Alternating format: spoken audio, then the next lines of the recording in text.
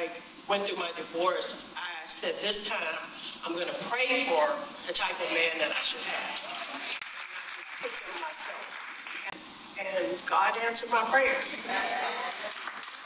So when you pray to God and He grants you the desire that you were praying for, people are usually happy and excited. However, when it does not work out, people tend to blame God, you know, why did you let this happen? But if you pray to God and He answered your prayer, that means God did His part. We also have a part in that thing that we wanted. Did you do your part? And this is where a lot of people go wrong is that they pray for something, but however, they do not prepare themselves. They do not get the knowledge and the wisdom to in order to keep what they were praying for. They do not surround themselves with people that may have more knowledge than them. Listen to them and apply what those people give, the advice those people give them. People don't usually do that. So we are going to take a look at the the ending of Richard and Tina, well, Richard Lawson and Tina Knowles marriage. Hey, it's a sister Rolande.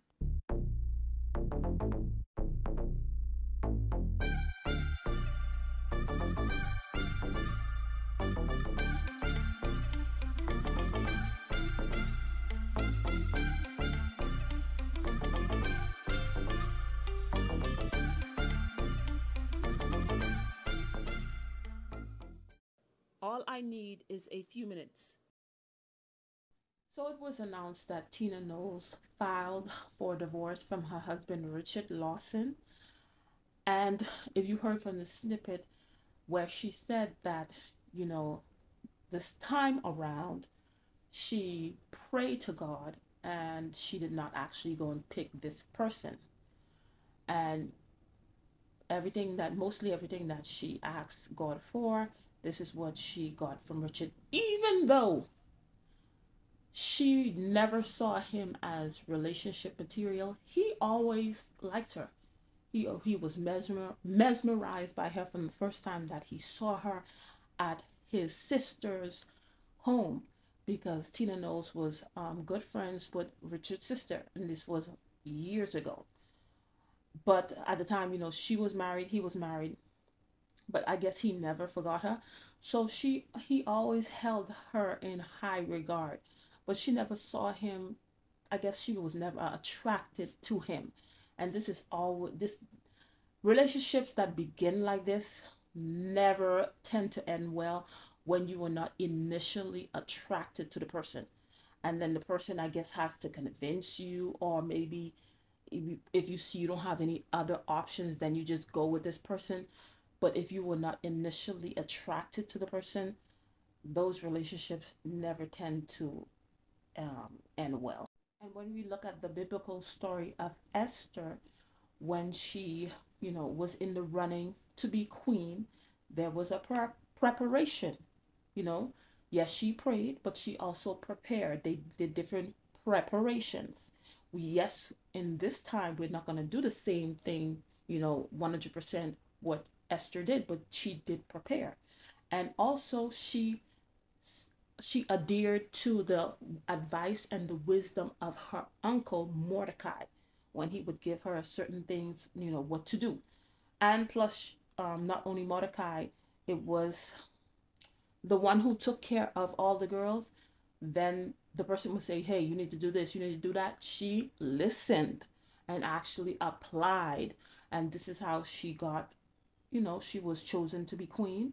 And then, even though she was supposed to be eliminated because a person from her background and from her culture was not ever supposed to be queen, but the fact that she, you know, applied the wisdom that she received, and then, of course, she prayed, she continued and held on to her position as queen and wife.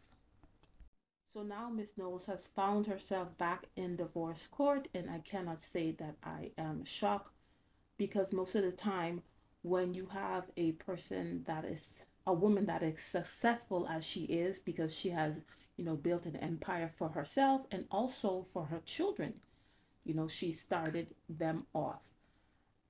Most of the time, they most of these women do not know how to balance bringing in money and also respecting their you know partner or husband they don't know how to let the man lead because you know they are in this boss i'm in charge position.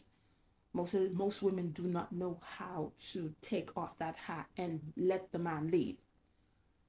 And and sometimes it's not that they even want the man to lead they just want a man because you know it's god said that is not good for man to be alone. That's the man or the woman. So they tend to go and look for men that they can dominate you know that they can control. You know we look good together but i'm in charge because i'm used to being in charge. I'm not going to give my authority to anybody. You just be here. Um, just as my husband you know the the model we'll be the model we'll be the face we'll be the example but what you are supposed to be my husband the leader whatever we're supposed to admit, submit one to another we're not going to do that period And so this time around, I'm trying to be a wife first. Not all the time, because it's not always possible. And sometimes I am a mother first. No, ma'am, you're supposed to be a wife first, and then you are a mother. And this is coming from a woman that has older children. But even if she had smaller kids, you would still need your husband to help you to raise those kids because um a child needs a father and a mother that is on the same page to raise them in a healthy manner because the father and the mother they both have different things that they contribute to the healthy upbringing of this child. But you are a oh and then she says she's trying to be a wife. And this is her second marriage. That was her second marriage at the time. So was she more doing motherly duties instead of wife duties? That's why maybe her first marriage ended in divorce and now her second marriage has ended in divorce. And you could tell that he was so shocked was like what did i get myself into? Because remember he always like put her on this pedestal. She was on this pedestal because she was beautiful and things like that. And this is where a lot of people get caught up because you know you're so mesmerized by the person's beauty. And most of the time it's by the physical features. You're so mesmer- mesmerized by their physical features you know their color their shape their um, physique or whatever it may be the way they talk maybe what they have. And then you look past that and you not you look past that you just focus on that only. And then you don't look at the person character. You don't look at hey if this person's mindset is the type of person that i can you know we can have longevity with. He didn't know that hey she didn't know how to be a wife. She was more she was more you know able to be a mother. She's good at that but a wife not so. So certain stuff is be- is good to know so you can know that hey you shouldn't expect wifely things from her. She's going to focus more on the kids. But most of the time we're so caught up in the physical features and sometimes the money we do not look at the the actual person before you. You have to look at who is this person? What type of person are they? You know who am i? Is this person are we compatible? Not we complete each other do we complement each other? You know where i may be lacking in some area they are strong. And even when they are strong you know they don't put me down. They don't say look at you and stuff like that. We help each other but people don't do stuff like this Prayed for the type of man I wanted, and I got pretty much that. Is he perfect? Absolutely not. But, you know, he has a lot of the qualities. No, No. he has a lot of the qualities that uh, that I love, and we're having a really good time, and I'm enjoying life. So there is hope, women. So that was the clip that went viral, I think like two years ago, maybe a year and a half. And where, you know, she was like, he's not perfect. And then he asks, I'm not. And then she's like, no, you're not. And that made him think, like, what did I, what did I get myself into? That really made him think, what did he get himself into? Oh my goodness. nobody's perfect. Nobody's perfect. Of course, you're never gonna get, you know, if you have a list, you're not gonna get everything on your list. Some people, you know, it takes time, a lot of time and a lot of patience before they actually are the person that you prayed for. They're not gonna automatically come that way.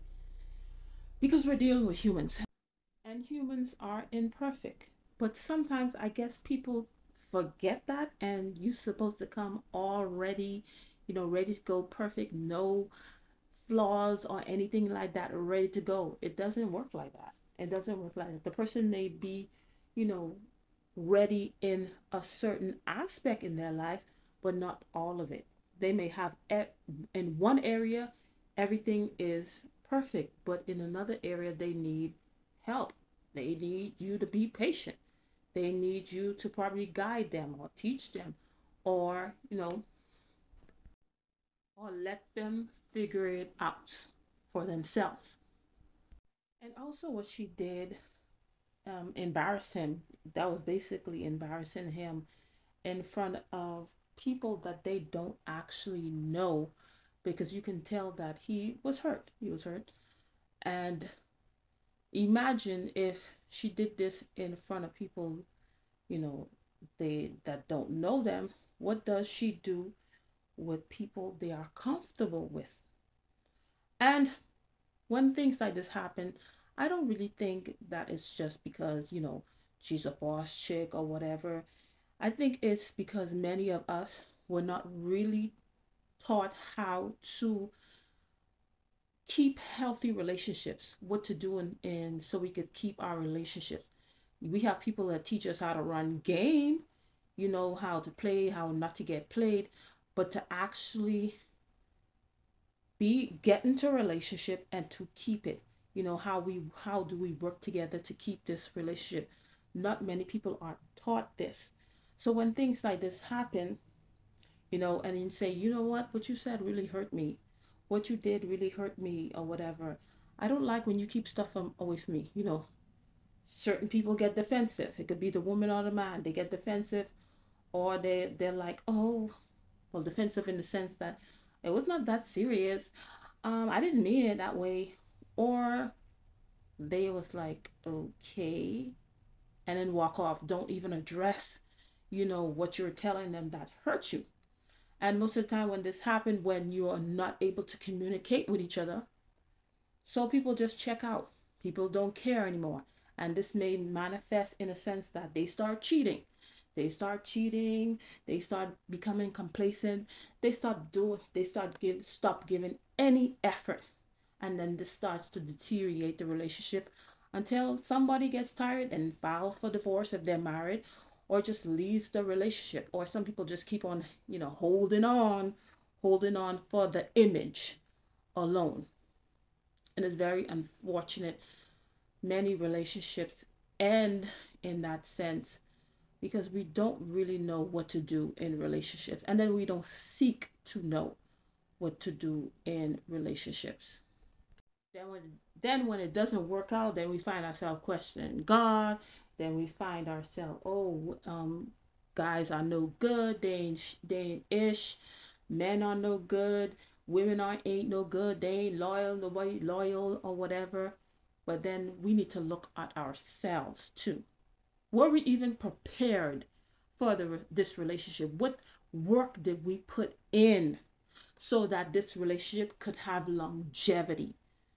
We sometimes have to ask ourselves that before you go and believe it was him, it was this, it was that. Okay, what you did. It's very unfortunate that this relationship had to end this way in divorce because you know many people were saying, you know, this she was hope. She was they was using her as hope again. Or i could i could keep hope alive because she found love. They were you know the power couple black love model and whatever and then this happens that's them some things you have to take as a cautionary tale since some certain stuff in aspects in their relationship was public and do better and do different. But don't take you know a failure that happened in somebody else relationship and think oh well that's probably going to happen to me. I don't need to look. I don't need to do anything because it always ends like this. Woe woe is any relationship that i get in or potential relationship that i get in. I don't understand why people do that but whatever. So many things to take from this relationship. Never go with somebody you are not initially attracted with. Because most of the time, if you're not willing to put in the work or whatever, those tend not to end well. And then don't be so mesmerized by somebody's beauty and um, physical features or their color or their money. You look past who that person truly is. And then when you want to get into relationships or you want your relationship to last, surround yourself with people that have, you know, eh, are in a relationship and it has lasted. It may not be perfect, but it has lasted. Listen to their advice and apply it where need be because not you can't take everybody, you know, advice and certain advice may not apply to your relationship. And probably some other you know, stuff. But I don't want this video to be too long. Thank you for watching and I'll see you in another one. Bye.